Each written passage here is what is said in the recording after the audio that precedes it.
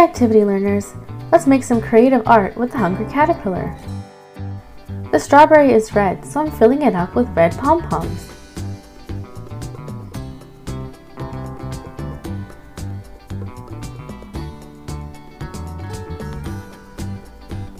The top of the strawberry is green, so I'm going to fill it up with green pom-poms.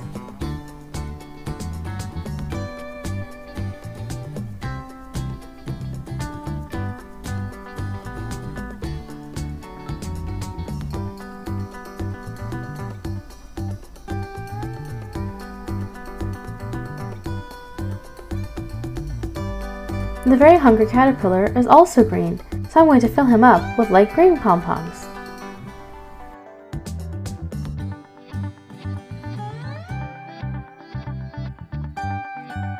Don't forget to hit the like button and subscribe to our channel for more fun learning videos.